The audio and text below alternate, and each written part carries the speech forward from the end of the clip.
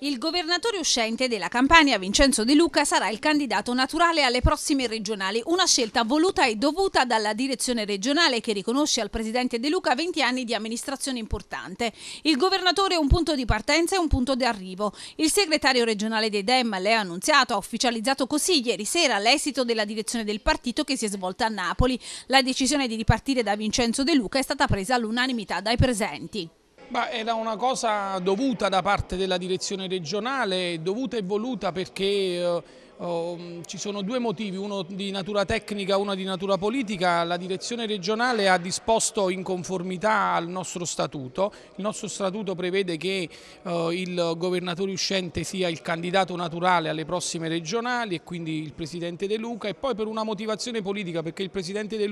Luca è l'unico che negli ultimi forse dico non esagero a dire vent'anni è riuscito a fare qualcosa di importante in regione Campania, da ultimo lo fu riuscita dal commissariamento nella sanità eh, e in altri ambiti importanti e strategici per la nostra regione. C'è ancora tanto da fare, partivamo da un, da un punto di partenza assolutamente inferiore a una media nazionale e quindi il Presidente De Luca è stato l'unico che in qualche modo è riuscito a fare qualcosa di importante per la nostra regione.